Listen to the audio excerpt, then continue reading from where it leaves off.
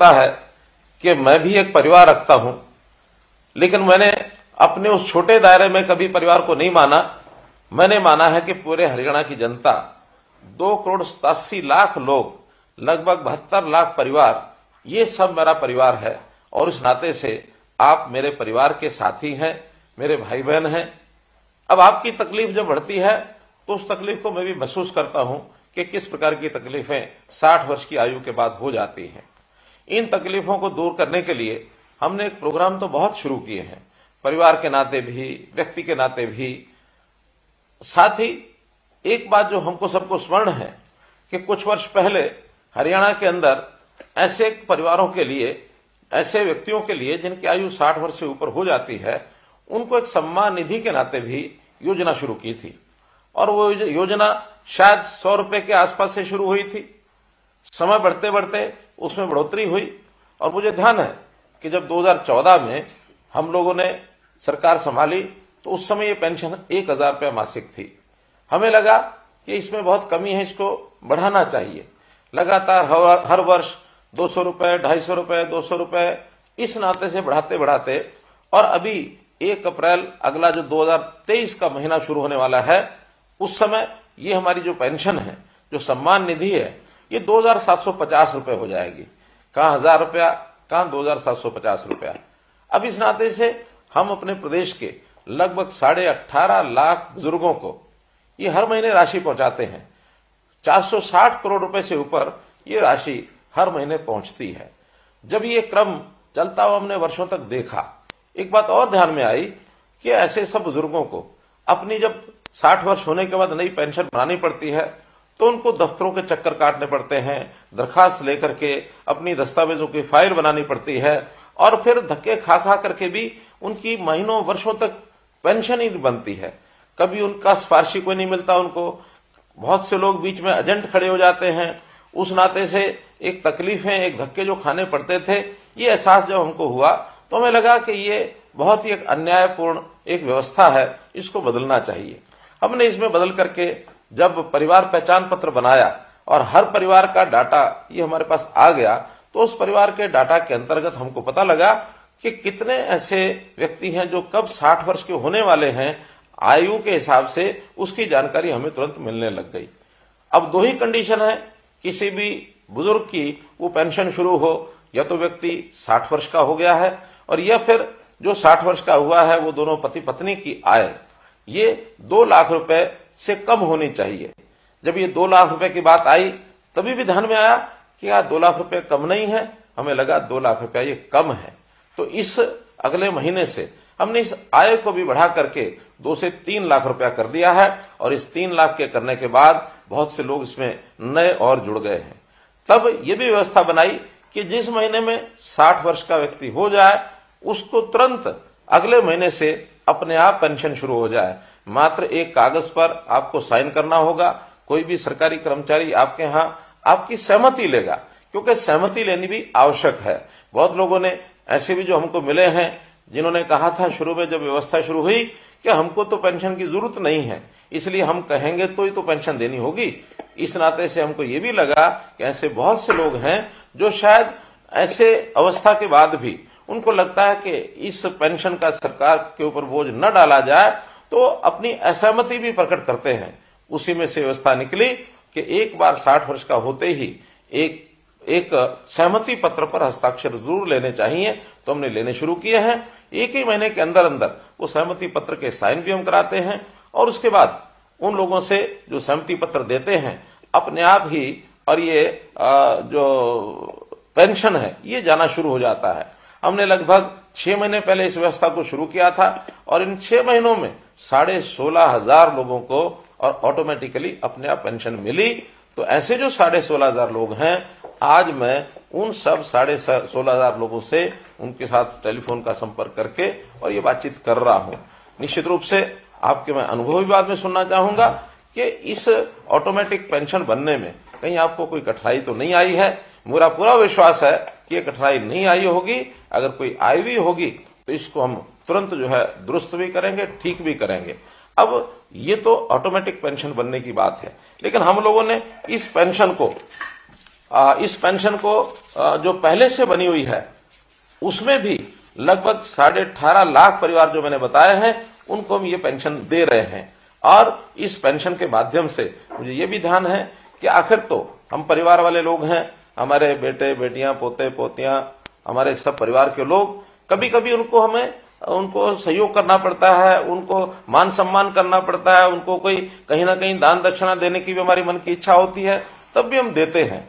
तो एक सुविधा ये हरियाणा के लोगों को जो मिल रही है, लगभग साढ़े सत्ताईस सौ रुपये की जो अब योजना अप्रैल से बनी है, ये भी एक दावे के साथ मैं कह सकता हूँ कि इतनी राशि केवल हरियाणा प्रदेश ही है, जो ये साढ़े सत्ताईस सौ रूपया और ये दे रहा है, और किसी प्रदेश में इस प्रकार की व्यवस्था ये ऐसी नहीं है। तो मित्रों, भाइयों, बहनों, मैं तो आपको आज यही कहूँगा कि हम लोग जो ये एक लाभ सरकार से ले रहे हैं तो इस लाभ के बदले में हम लोगों को, क्योंकि हमारी आयु भी साठ वर्ष ही हुई है तो साठ वर्ष होने के बाद आखिर व्यक्ति का शरीर स्वस्थ रहता है, काम करने योग्य रहता है तो हमें अपने इस आयु के पड़ाव में आकर के अपने काम के साथ साथ सामाजिक कामों में भी जाना चाहिए। ऐसे जितने भी हमारे रिटायर्ड लोग हैं, जितने ऐसे बुज़ुर्ग हैं, या नौजवान भी हैं, जो अपने आप एक स्वयं सेवक के नाते, एक वॉलंटियर के नाते काम कर सकते हैं, उनका भी एक पोर्टल बनाया है, उनको हम रजिस्ट्रेशन कराते हैं, और रजिस्ट्रेशन कराने के लिए अगर अपना मन माने कि हमको आखिर कोई ना कोई समाज का काम करना चाहिए। क्योंकि जैसे मैंने कहा, ये समाज है, ये हमारा परिवार है। एक छोटा परिवार जिसके अंदर हम पैदा हुए, हमारे आगे परिवार के सदस्य, बेटे, बेटियाँ, बहन, भाई हमारे जो दोते, दोतियाँ, पोते, पोतियाँ और हमारी बहुएँ, हमारे दामाद, एक परिवार, दूसरा परिवार, ये सारा समाज, ये भी एक परिवार है।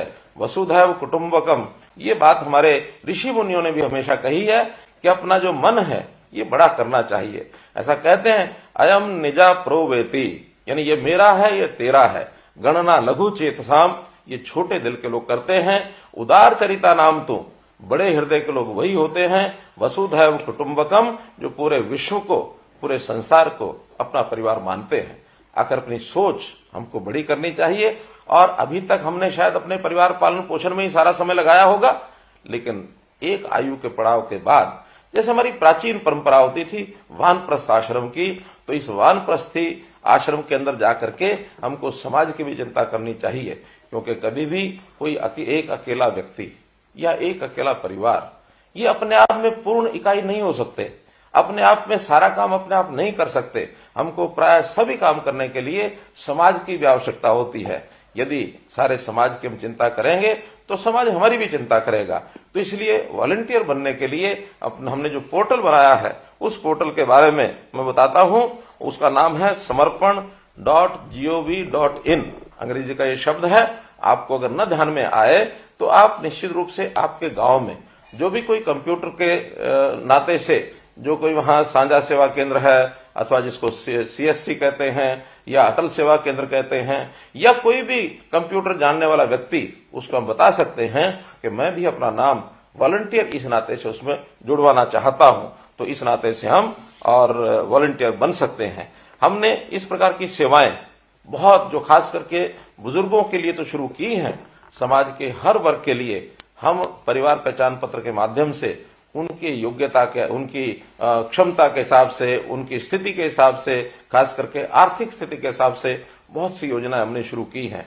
हमने इस परिवार पहचान पत्र के अंदर जितने भी नागरिक हैं, अर्थात दो करोड़ सतासी लाख, इनको छह भागों में बांटा है। ज़ीरो से छह वर्ष तक जब बच्चे होते हैं, बहुत छोटे बच्चे, आखिर उनकी भी संभाल करनी होती है। हमने महिला बाल कल्याण विभाग के नाते से उनको ये जिम्मा सौंपा है। हमारी आंगनवाड़ी वर्कर्स हमारी आशा वर्कर्स हमारे जो क्रच हैं हमारे जो आ, स्कूल हैं जहाँ जहाँ ये बच्चे पढ़ सकते हैं और जो हमारा आ, इनके स्वास्थ्य को ठीक रखने के लिए या इनको कोई आगे बीमारी न लगे उसके लिए टीकाकरण करने के लिए ये विभाग उनका काम करता है। ऐसे ही छह वर्ष से लेकर के और सोलह अठारह वर्ष तक ये जो एक हमारे बालक परिवारों के, इनको स्कूल शिक्षा का जो विभाग है, वो इनकी चिंता करता है कि ये सब बालक पढ़ने के लिए जाए। कोई बच्चा ऐसा तो नहीं है जो किसी स्कूल में पढ़ नहीं रहा है, घर में ही रहता है, या उसको कोई स्वभाव के नाते से कोई कहीं गलत आदत तो नहीं लग गई है। तो हर बच्चे की संभाल करना, ये इस विभाग के जिम्मे रहेगा। अठारह से लेकर के 25 वर्ष तक हमारा जो उच्चतर शिक्षा विभाग है, जो उच्च, उच्चतर शिक्षा में, चाहे हमारी यूनिवर्सिटीज हैं, चाहे हमारे कॉलेजेस हैं ये जो विभाग इन 18 से 25 वर्ष वालों की चिंता करेगा, या तो पढ़ाई करेंगे, या फिर अपने हुनर को विकसित करने के लिए स्किलिंग डेवलपमेंट के नाते से ये उनकी चिंता करेंगे। कुछ लोग जो रोज़गार करना चाहते हैं, उनको रोज़गार दिलाने की व्यवस्था करेंगे। तो ऐसे सब युवा, ये युवा अवस्था ऐसी होती है, इस समय संभालना बहुत ज़रूरी होता है, दिशा देना बहुत ज़रूरी होता है। तो हमारे युवक एक ठीक दिशा में काम करें, इनके लिए वो काम हम देते हैं उनको। इसी प्रकार 25 वर्ष से लेकर के 40 वर्ष तक। ये ऐसे युवा होते हैं जो स्पोर्ट्स में काम करते हैं, जो कहीं ना कहीं नौकरी की तलाश करते हैं। तो इस नाते से इनके युवकों की गतिविधियों में ये भाग ले और हर किसी को अपने परिवार पालन के अंदर सहयोग करने के नाते रोज़गार प्राप्त हो, ये काम हम उसके लिए भी करते हैं। ये भी हमारा जो यूथ अफेयर जो डिपार्टमेंट है, ये जो, और स्पोर्ट्स डिपार्टमेंट है वो लोग इनका पूरा ध्यान रखेंगे। इसी प्रकार 40 से 60 वर्ष तक का रेवेन्यू डिपार्टमेंट हमारा है, क्योंकि ये प्राय प्राय सब लोग अपने काम में लग जाते हैं। कोई छोटा काम करे, बड़ा काम करे, नौकरी करे, दुकान करे, उद्योग करे, इन सब के जिम्मे अपने परिवार का पालन पोषण होता है। इनको किसी प्रकार की कठिनाई न आए, ये भी काम उनके जिम्मे लगाया जाता है। तो सब लोग इस नाते से और व्यस्त रहें, सबको एक प्रकार से परिवार पालन के अंदर पूरा अवसर मिले तो इस प्रकार 60 साल तक और 60 साल से ऊपर की आयु के वर्ग के लोग जिसमें हम शामिल हुए हैं, ऐसे सब लोगों के लिए जो हमारा सेवा विभाग है, सेवा विभाग के जिम्मे ये लगाया है कि 60 वर्ष से लेकर और जितने वर्ष तक की आयु प्रभु ने हमको दी है, उस वर्ष तक सबकी संभाल ये सब करें। विशेष तौर पर इन सब वर्गों के लिए। स्वास्थ्य का विषय ऐसा है जो हर किसी के ऊपर लागू होता है कि स्वास्थ्य ठीक रहे, व्यक्ति स्वस्थ रहे, तंदुरुस्त रहे, और अगर कहीं अस्वस्थ होता है, बीमार होता है तो उसका इलाज ठीक हो जाए। इलाज ठीक करने के नाते हमारे देश के प्रधानमंत्री विशेष तौर पर बहुत चिंतित है। गरीब परिवारों के लिए उनकी चिंता है कि कहीं ऐसा ना हो कोई गरीब परिवार किसी के इलाज कराने में इतना खर्च कर बैठे कि परिवार जो है वो कहीं उसकी कमर न टूट जाए क्योंकि गरीब परिवारों को लाखों रुपए का इलाज का खर्च देना ये संभव नहीं है। इस नाते से उन्होंने हर गरीब परिवार के लिए पाँच लाख रुपए तक का ये जो स्वास्थ्य बीमा है, ये लागू कराया है आयुष्मान भारत के नाते। जब हमें ध्यान में आया कि केंद्र की स्कीम में तो हरियाणा के साढ़े पंद्रह लाख परिवार कवर हो रहे हैं, हमने उसमें अपनी एक योजना बनाई, चिरायु योजना, ताकि एक लाख अस्सी हज़ार रुपए तक की आय के जो परिवार हैं, उन सबको इसका लाभ मिले और इसमें उनतीस लाख से भी ज़्यादा परिवार इसमें कवर हो रहे हैं। अब हमको ध्यान में आया, आखिर एक अस्सी भी बहुत आय ऐसी है जिसमें शायद इससे ऊपर के लोगों को भी कठिनाई आएगी।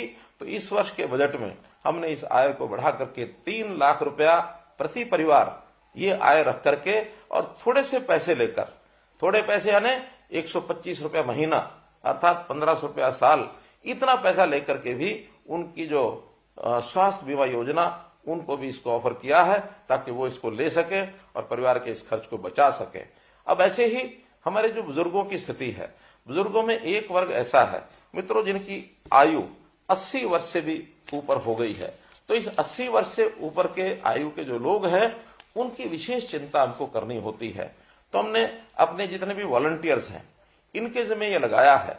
वॉलंटियर्स वो जनता में से भी आते हैं और हमारे सरकारी कर्मचारी वो भी वॉलंटियर्स बन सकते हैं। हज़ारों की संख्या में ऐसे सरकारी कर्मचारी वॉलंटियर बने हैं। बल्कि मैं अपील करता हूँ कि आप भी उनको ये कहें, जो हमारे सरकारी कर्मचारी आपके परिवारों के लोग हैं, उनको कहें कि वॉलंटियर बनकर के ऐसे बुज़ुर्ग, जिनकी आयु 80 साल से ऊपर हो गई है, इनकी देखभाल करने के लिए कम से कम और कुछ ना करें। महीने में एक बार जाकर उनका हालचाल पूछें। कोई अस्वस्थ है कहीं किसी की परिवार के अंदर स्थिति ऐसी तो नहीं है कि परिवार में कोई देखभाल नहीं करता है, कोई अकेला तो नहीं रहता है। उसके कुशल क्षेम, उसकी बीमारी, उसका खान पान उसको आवश्यकताएँ जितनी होती हैं उसकी पूरी हो रही हैं कि नहीं हो रही हैं? क्योंकि ये भी लगभग सवा दो लाख परिवार ऐसे हैं लोग ऐसे हैं जो 80 वर्ष से ऊपर हैं। तो इन सवा दो लाख लोगों की भी चिंता हमको करनी चाहिए। ये हमारे बुज़ुर्ग हैं और बुज़ुर्ग हमारे माता पिता के बराबर होते हैं। तो हम अपने माता पिता के बराबर बुज़ुर्ग अस्सी साल, नब्बे साल सौ साल से भी ऊपर की आयु के लोग, लगभग साढ़े तीन हज़ार लोग आज ऐसे हैं, जिनकी आयु सौ वर्ष से भी ऊपर है। तो एक बहुत बड़ा ऐसा वर्ग है, जिन्होंने सारा जीवन, चाहे अपने परिवार को पालते हुए भी, जो सेवा की है समाज की, एक बहुत बड़ी सेवा है। तो हम आज उन बुज़ुर्गों को ज़रूर देखभाल करें। सरकार ने एक योजना बनाई है, ऐसे बुज़ुर्ग जो अकेले रहते हैं, क्योंकि ये भी एक बड़ी संख्या है, जो आज ध्यान में आता है कि 80 साल से ऊपर की उम्र है। और अकेले रहते हैं। ये संख्या भी कम नहीं है। ये संख्या लगभग ऐसा आ, जो मेरी जानकारी है आ, ये लगभग अट्ठाईस हज़ार लोग ऐसे हैं जो अकेले रहते हैं और जिनकी आय वो लगभग एक लाख अस्सी हज़ार रुपए तक है। तो इनकी भी चिंता हमको सबको करनी है। तो ऐसे परिवारों को जो अकेले अकेले हैं उनका बहुत मुश्किल है उनको अपने जीवन यापन करना। उनको परिवार की सहायता नहीं मिल रही है, या कई बार पारिवारिक छोटे मोटे विवाद होते हैं, उसके कारण से माता पिता को कई बार बच्चे भी दूर कर देते हैं, जो एक बहुत अच्छी बात नहीं है, बहुत इसको हमको संभालने की आवश्यकता है कि जिस परिवार को पाला पोसा बुज़ुर्ग ने, वो बच्चे उन परिवारों बुज़ुर्गों बुज़ुर्गों की ज़रूर उसकी देखभाल रखें, उनकी चिंता करें। आखिर उन्होंने आज तक हमको पाला है, आज ज़रूरत उनकी आवश्यकता है, उनको सहायता करने की तो हम सहायता करेंगे। एक वर्ग ऐसा हमको ध्यान में आया कि आयु भी 80 वर्ष से ऊपर है, अकेले रहते हैं, और उनकी अपनी इनकम हमारे डाटा के हिसाब से पच्चीस हज़ार रुपए से कम है, ऐसे भी छत्तीस सौ लोग हैं। अब ये छत्तीस सौ लोगों की हालत क्या होती होगी?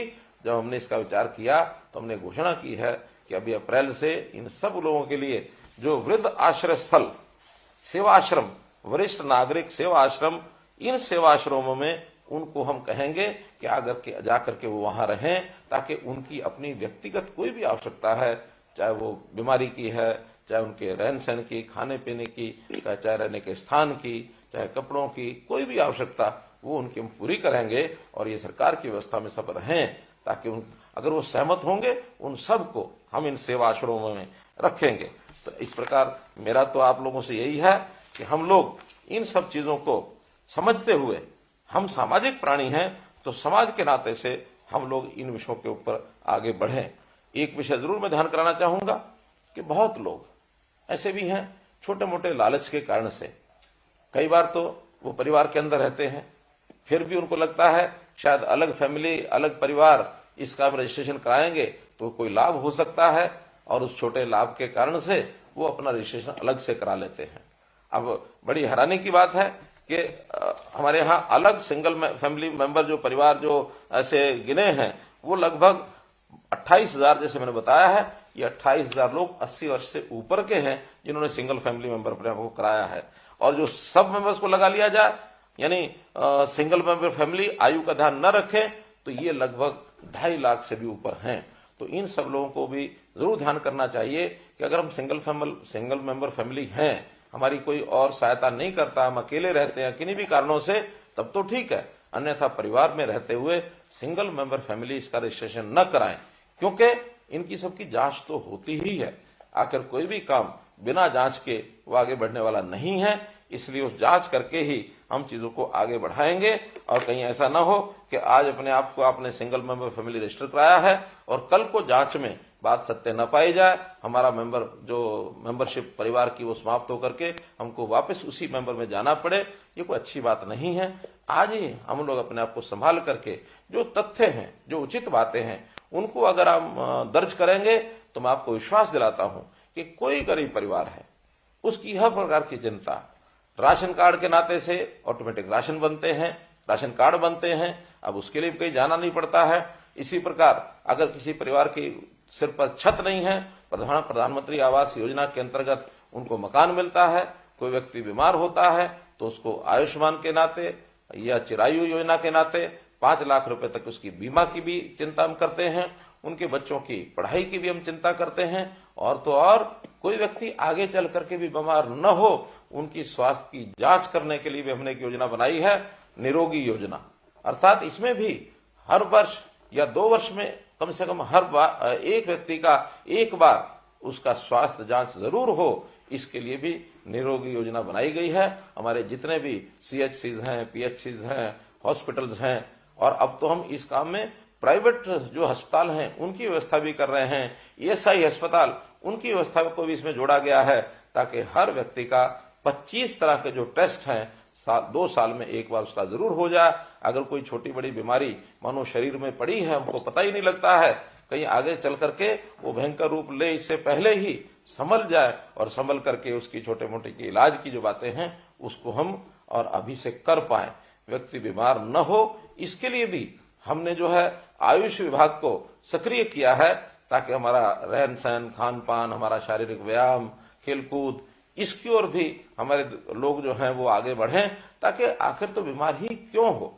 बीमार न हो, इसके बहुत लाभ है। बीमार होने के बाद इलाज तो कराने के लिए खर्च होगा ही होगा, हमारा समय बर्बाद होगा, हम काम करने से भी गए। मानो, अगर एक महीना इलाज के लिए हमको लगाना पड़ता है तो एक महीना आखिर काम का जो नुकसान है, हमारा अपना भी नुकसान है, परिवार का भी है, देश का भी है। इसलिए स्वस्थ रहें, अस्वस्थ न हो इस पर भी हम पूरी योजनाएँ बना रहे हैं। तो मित्रों, आज जो है, इस नाते से मैंने उन्हीं बंधुओं से बातचीत की है, जिन लोगों की पेंशन की नई योजना बनाई हमने, ओल्ड एज पेंशन वृद्धावस्था पेंशन, इसके नाते जिनको ऑटोमेटिकली अपने आप पेंशन बन गई, ऐसे लोगों से मैंने बातचीत की है। आपने मेरी बातचीत को बहुत ही ध्यानपूर्वक सुना है। आपका बहुत बहुत धन्यवाद करता हूँ। बहुत बहुत